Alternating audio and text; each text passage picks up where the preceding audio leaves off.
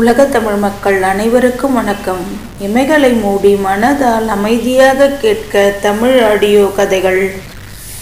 நந்தினி நந்தினின்ற கதாபாத்திரத்தை பற்றி தான் இப்போ நம்ம பார்க்க போகிறோம் நந்தினி வந்து கல்கி எழுதிய பொன்னியின் செல்வன் புதினத்தில் வருகிற பெரிய பழுவேட்டையரை திருமணம் செய்து கொண்ட பழுவூர் இளையராணி ஆவார்.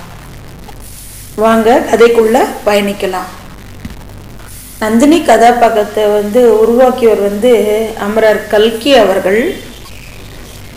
பெற்றோர் மந்தாகனி சகோதரர்கள் வந்து மதுராந்தக தேவன் திருமலை. பழுவூர் இளவரசி அவருடைய பெயர். வீரபாண்டியனை கொன்றமைக்காக சோழ வம்சத்தின பழி தீர்த்தல் கணவர் வந்து பெரிய பழுவேட்டையர். தந்தை வீரபாண்டியன் சைவ சமயத்தை பின்பற்றினவங்க. சோழ நாடு. தோழர் தொழிகள்ன்றப்போ மணிமேகலை ரவிதாசன் இடும்பன்காரி சோம்பன் சாம்பவன். இயல்பாகவே சோழ இனத்தின் மீது ஒரு பழி உணர்ச்சி. இயற்கையாகவே மோகம் கொள்ள கோவைக்கும் ஒரு அழகு. வசப்படுத்தும் பேச்சு திறன் சாதுர்த்தியமாக திட்டமிடும் திறன். நந்தினி வந்து வீரபாண்டியனை கொன்றமைக்காக சோழ பேரரசனையே அழிக்க திட்டமோட ஒரு பெண் கதா கதாபாத்திரத்துல வராரு. சோழ பேரரசில் பெரும் செல்வாக்கு மிகுந்த பெரிய பழுவேட்டரை திருமணம் செய்கிறார் சுந்தர சோழரின் வாசிக வாரிசுகளான குந்தவை தேவியையும் அருள்மொழிவர்மனையும் ஆதித்த கரிகாலனையும் தனித்தனியே கொள்வதற்காக பாண்டிய ஆபத்துதவிகளுடன் இணைந்து செயல்படுகிறார். கண்டராதித்தனின் மகனான மதுராந்தக தேவன் சிவ கைங்கரியத்தில் ஈடுபட்டு கொண்டிருக்கிறாரு. அரச பதவிகளின் நாட்டமின்றி இருந்தவரை நந்தினி சந்தித்து மன்னராகும் தகுதி மது மதுராந்தகனுக்கே உண்டு என்று மனம் மாற்றம் செய்கிறார் அதனால வந்து மதுராந்தகன் சிவபக்தியை துறந்து நாடாள வேண்டி சிற்றரசர்களின் ரகசிய கூட்டத்தின கூட்டுறான் அதில் மர மதுராந்தகன் கலந்து கொள்ள ஏதுவாக தன்னுடைய பல்லக்கனை தருகிறார் நந்தினி. நந்திதினய தேவியினோட அண்ணன் வந்து திருமலை பழுவூர் சிற்றரசரான பெரிய பழுவேட்டரை வந்து நந்தினி திருமணம் செய்ததை வந்து திருமலைகளுக்கு வந்து விருப்பம் கிடையாது. அதன் பின் அவளை சந்திக்கவும் திருமலை பல நேரங்களில் சந்தர்ப்பம் பார்த்து கொண்டிருக்கிறாரு. சோழ பேரரசின் முதல் மந்திரியான அனிருந்த பிரம்மாயரின் முதன்மை ஒற்றனாக திருமலை வந்து வேலை செய்கிறாரு வீரபாண்டியனோட கொலைக்காக ஆதித்த கரிகாலனை பழி வாங்குவதற்காக கடம்பூர் மாளிகையில ஆதித்த கரிகாலனை வந்து வரவேற்கிறார் அங்க மணிமேகலைக்கும் ஆதித்த கரிகாலனுக்கும் திருமணம் செய்து வைக்கவே அழைத்திருப்பதாக ஏமாத்துறா வேட்டை மண்டபத்திற்கு ஆதித்த கரிகாலனை அழைத்து வந்து கொலை செய்கிறார். அதற்கு முன் மணிமேகலையும் வந்தியத்தேவனையும் அங்கே ஒளிந்து கொள்ளும்படி செய்கிறார். பெரிய பழுவேட்டையர் ஆதித்திர கரிகாலனை கொல்லப் போகின்றார்கள் என்பதை அறிந்து தடுக்க முற்பட்டு மயக்கமிட்டு விழுகிறார். அவரை பாண்டிய ஆபத்து தீவுகளை தூக்கி வர செய்து மூன்று நாட்கள் உணவளித்து மயக்கமாக இருந்தவரை தெளிவித்து அவரிடமிருந்து விடைபெற்று மறைந்து விடுகிறாள் பாண்டிய நாட்டில் வசித்து வந்த ஆழ்வார்க்கடியார் நம்பியின் தந்தைக்கு ஒரு நாள் நந்தவனத்தில் வந்து ஒரு பெண் குழந்தை ஒன்று கிடைக்குது. குழந்தை எடுத்து வந்து அன்போடு வளர்க்குறாங்க. நம்பியினுடைய குடும்பத்தினர் நந்தவனத்தில் கிடைத்ததால் அவளுக்கு நந்தினி அப்படின்ட்டு பெயர் சுட்டி வளர்க்குறாங்க. ஆழ்வார்க்கடியான் அவளை தன் உடன் பிறந்த தங்கையாவே பாவித்து பாசத்தோடு வளர்க்கிறார். தந்தை இறந்த பிறகு தங்கையை வளர்க்கும் பொறுப்பை தனதாக்கி கொண்டான் நம்பி வைணவன் ஆதலால் நம்பியுடன் இருக்கும் நந்தினிக்கும் பெருமாளின் மீது பக்தி அதிகரிக்கிறது. நந்தினியும் கிட்டத்தட்ட இன்னொரு ஆண்டாளாகவே மாறி இருந்தால் சோழர்களுக்கும் பாண்டியர்களுக்கும் சேவூர் போர் நடந்தது. இந்த போர்ல வந்து பாண்டியர்களை சர்வநாசம் செய்தது சோழர் படை.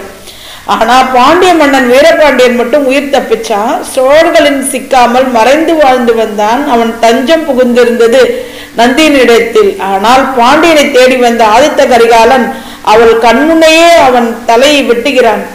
ஆதித்த கரிகாலன் பாண்டியனை கொன்ற பிறகு நந்தினி பழுவேட்டரை மணக்கிறாள். காரணம் வீரபாண்டியன் நந்தினியை மணப்பதாக வாக்களித்திருந்தான். நந்தினியையும் வீரபாண்டியன் மீது காதல் கொண்டிருந்தாள். தன் காதலன் கொன்றதனால் ஆதித்தனை பழிவாங்க திட்டமிட்டாள் போர் முடித்து நாடு திரும்பிக் கொண்டிருந்த பழுவேட்டரை தன் வலையில் விட வைத்தாள் நந்தினி. நந்தினி வந்து சோழ சாம்ராஜ்யத்தையே பழிவாங்க துடிப்பதற்கு மற்றொரு காரணமும் உண்டு. சிறு வயதில் நம்பியின் குடும்பம் வந்து பழையாறுல வசித்து வந்தது. அங்கு முதன் முதல்ல இளவரசர் கரிகாலரையும் இளவரசி குந்தவையும் சந்திக்கிறார் நந்தினி. நந்தினியுடைய அழகை கண்டு பொறாமை கொள்கிறாள் குந்தவை. இளவரசிக்கு கிடைக்கும் செல்வாக்கை கொண்டு பொறாமை கொள்கிறாள் நந்தினி.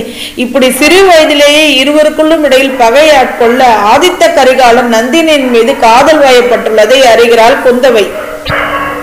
உடனடியாக நம்பியின் குடும்பத்தை அங்கிருந்து வெளியேற்றுகிறாள். இவையெல்லாம் சேர்த்து மிகப்பெரிய பழிவாங்கும் குணத்தை நந்தினிக்கு கொடுக்குது. அமரர் கல்கியினோட கற்பனையில வளர்த்தெடுக்கப்பட்ட சிறந்த கற்பனை கதாபாத்திரம் தான் நந்தினி. பேரழகி கூர்மதி ஆழ்வார்க்கடியார் நம்பியின் வளர்ப்பு தங்கை ஆதித்த கரிகாலனுடைய காதலி பெரிய பழுவேட்டரின் ஆசை மனைவி பழுவூர் ராணி பொன்னியின் செல்வன் நாவலை உழுக்கும் இந்த நந்தினி. சோழர்களுக்கும் பாண்டியர்களுக்கும் இடையே நடக்கும் தீராத அதிகார போர் பகை வயது முய- முதிர்வால் நோய்வாயப்பட்டு சோழ பேரரசு சுந்தர சோழருக்கு அடுத்து சோழ அரியணை கைப்பற்ற அரச கொள்ள மன்னர்களிடையே நடக்கும் சூழ்ச்சிகள். இந்த அதிகார போர்க்களத்தின் நடுவே பெண் ஒருத்தி தனது ராஜதந்திரத்தின் மூலம் சோழ ராஜ்யத்தை அழித்து பழி தீர்த்து அரியணையை கைப்பற்ற நினைக்கிறாள். அவள்தான் கல்கியின் கற்பனை கதாபாத்திரமான நந்தினி. நந்தினி யார்? எங்கிருந்து வந்தவள்? எதற்காக சோழனை பழித்திருக்க நினைக்கிறாள் என்பதை மர்மமாகவே ஆசிரியர் வைத்திருக்கிறார். நந்தினி பற்றிய மர்மங்களுக்கான பதில்கள் ஆழ்வார்க்கடையன் நம்பி வந்தியத்தேவன் மூலம் நாவலின் போக்கில் பயணிக்க பயணிக்க கொஞ்சம் கொஞ்சமாக தெரிய வரும் இந்த கதாபாத்திரம் நாவலில் உள்ள ஒவ்வொரு கதாபாத்திரங்களின் கோணங்களிலும் வெவ்வேறு பரிமாணங்கள் கொண்ட மர்மம் நிறைந்த கதாபாத்திரமாகவே இருக்கும். ஆழ்வார்க்கடியான் நம்பி சொல்லும் நந்தினி வயது முதிர்ந்த சோழ தேசத்தின் முக்கிய அமைச்சரான பழுவேட்டையர் ஆசை மனைவியாக ஆதாய அடைக்கலம் தேடிய பெண். ஆழ்வார்க்கடியான் நம்பியின் தங்கை. ஆனால் வந்தியத்தேவன் சந்திக்கும் நந்தினி பாண்டிய ஆபத்து துவிகளுக்கு உதவி செய்து பழுவேட்டையர் தன் வசமாக்கி அதன் மூலம் சோழ சாம்ராஜ்யத்தை அழித்து பழித்தீர்க்க துடிக்கும் ராஜதந்திரம் நிறைந்த பெண். இப்படி நந்திரி கதாபாத்திரம் ஒரு மர்மம் நிறைந்த கதாபாத்திரமாகவே கதையோட்டத்தில் நகர்கிறது. உண்மையில் நந்தினி யார் என்று பார்த்தோமானால் அதற்கான பதில்கள் நாவலின் பயணத்தில் ஆங்காங்கே சொல்லப்பட்டிருக்கும். இது கல்கியின் கற்பனை கதாபாத்திரம் என்பதால் இந்த கதாபாத்திரத்திற்கான தொடக்கத்தையும் முடிவையும் கல்கியே வரையறுத்திருப்பார். அதன்படி நந்தினி ஒரு ஆதரவற்றவராக நதிக்கரையின் அருகில் உள்ள நந்தவனத்தில் ஆழ்வார்க்கடையான் நம்பியின் பெற்றோருக்கு கிடைக்கிறாள். அவள் பார்ப்பதற்கு மிகவும் அழகாக இருந்ததால் நந்தினி என்று பெயர் சூட்டப்படுகிறாள். பின் ஆழ்வார்க்கடியானின் பெற்றோர் மறைவுக்கு பிறகு ஆழ்வார்க்கடியான் தனது வளர்ப்பு தங்கையாக நந்தினியை வளர்க்கிறார். நந்தினி யாரென்று வெளிப்படுத்துவதுதான் நாவலின் சுவாரஸ்யமான பகுதியாக இருக்கும். சிறு வயதில் தஞ்சையின் பழையாற்றில் வளர்ந்த நந்தினியை சோழ இளவரசான் ஆதித்த கரிகாலன் நந்தினி இருவரும் சிறு வயதில் காதலித்து வந்தனர். பிற்காலத்துல சோழர்களுக்கும் பாண்டியர்களுக்கும் நடந்த போர்ல பாண்டிய மன்னன் வீரபாண்டியனின் தலையை ஆதித்த கரிகாலன் துண்டாக வெட்டி சோழ தேசம் முழுவதும் ஊர்வலம் கொண்டு செல்கிறார். இதன் காரணமாக சோழ ராஜ்யத்தை அழித்து பழித்திருக்கும் எண்ணத்தில் தனது பேரழகியும் மதி கூர்மையும் ஆயுதமாக பயன்படுத்தி பலரை தன் வலையில் சிக்க வைத்து மந்திரவாதியான ரவிதாசனை முதலில் பாண்டிய ஆபத்துதவிகளை வைத்துக்கொண்டு பல ராஜதந்திர செயல்களில் ஈடுபடுகிறார். ஆதித்த கரிகாலனின் கொலையில் முக்கிய பங்காற்றுவதாக காட்சிப்படுத்தப்படும் நந்தினி இலங்கையில் இருக்கும் அருள்மொழிவர்மனை கொலை செய்வதற்காக பண உதவிகளையும் செய்கிறார் நந்தினியின் பேரழகு வலையில் சிக்காதவர்கள் அருள்மொழிவர்மரும் வந்தியத்தேவரும் மட்டும்தான். இப்படி சோழர்களுக்கு எதிராக சதி திட்டங்கள் தீட்டி அதை நேர்த்தியாக நிறைவேற்றி வரும் நந்தினி இறுதியாக ராஜராஜ சோழரை சந்தித்து தன்னை பற்றி கூறிவிடுவதாக முடியும். இத்தனை மர்மங்கள் நிறைந்த இந்த நந்தினி கதாபாத்திரம் கற்பனையா அல்லது உண்மையா என்னும் அளவிற்கு நந்தினியின் கதாபாத்திரத்தை வடிவமைத்திருப்பார் ஆசிரியர். கல்கி எழுதிய புகழ்பெற்ற வரலாற்றில் உள்ள பல உண்மை கதாபாத்திரங்களையும் சில கற்பனை கதாபாத்திரங்களையும் வைத்து கற்பனையாக உருவாக்கிய தமிழ் புதினமாகும். பொன்னியின் செல்வன். பெரிய பழுவேட்டையர் பழுவூரை தலைநகரமாக கொண்டு ஆட்சி செய்த சிற்றரசர் சோழ நாட்டு தானாதிகாரியாக சுந்தர சோழர் ஆட்சி காலத்துல இருந்தவர். துறைமுக பட்டணங்கள்ல சுங்கத்திரை விதித்து வசூலிக்கும் அதிகாரிகளை கண்காணிக்கும் பொறுப்பினையும் ஏற்றிருந்தார். வயது முதிர்ந்த காலத்தில் நந்தினி தேவியை திருமணம் செய்து கொண்டு தனது இளையராணியாக்கினார் இவ்வாறு பொன்னியின் செல்வியின் செல்வாக்கு மிகுந்த கதாபாத்திரமாக பெரிய பழுவேட்டையார் வலம் வருகிறார். பழுவேட்டையர்கள் சரித்திரத்தில் அவங்களுடைய புகழ் என்னன்னா முத்திரையர் வசத்தில் இருந்த தஞ்சை கோட்டையை முற்றுகையிட்டு முதலில் அந்நகர்ல பிரவேசித்தவர் ஒரு பழுவேட்டையர். இரு கால்களும் இழந்த விசயாலய சோழன் திருப்புரியம் போர்க்களத்தில் புகுந்து அதிபராக்கிரம செயல்களை எல்லாம் புரிந்த பொழுது அவனுக்கு தோல் கொடுத்து தூக்கி சென்றவர் ஒரு பழுவேட்டையர். ஆதித்த சோழன் தலையில் கிரீடத்தை வைத்து பட்டாபிஷேகம் செய்வித்தவர் ஒரு பழுவேட்டையர். ஆதித்த சோழன் யானை மீது பாய்ந்து பல்லவ அபாசத்தனை கொன்ற பொழுது ஆதித்தன் பாய்வதற்கு வசதியாக முதுகும் தோலும் கொடுத்தவர் ஒரு பழுவேட்டையர். பராந்தக சக்கரவர்த்தி நடத்திய பல போர்களில் முன்னணியில் புலிக்கொடியை எடுத்து சென்றவர்கள் பழுவேட்டையர்கள். ராசராசத்தன் போர்க்களத்தில் காயம்பட்டு விழும்பொழுது அவனை ஒரு பழுவேட்டையை தன் மடி மீது போட்டுக்கொண்டு ராட்டினக்கூட படைகள் தோற்று ஓடுகின்றன என்ற செய்தியை தெரிவித்தார்.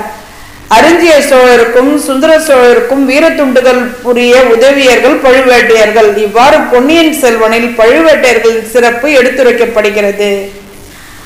பொன்னியின் செல்வனில் பழுவுரை தலைவராக கொண்டு ஆண்டு வந்தவர்கள் பழுவேட்டையர்கள் என்று அழைக்கிறார்கள். சுந்தர சோழரின் ஆட்சி காலத்தில் பழுவூர் சகோதரர்கள் இருவர் செல்வாக்கு மிகுந்தவர்களாக இருந்தார்கள்.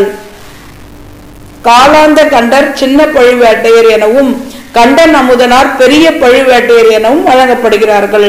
பெரிய பழுவேட்டையர் இருபத்தி நான்கு யுத்த களங்களில் பங்கெடுத்து அறுபத்தி நான்கு விழுப்புண் பெற்ற வீரராகவும் நந்தினி என்னும் இளம் பெண்ணை திருமணம் செய்து அவள் காதலுக்காக உருகுவதாகவும் கதாபாத்திரம் உருவாக்கப்பட்டுள்ளது.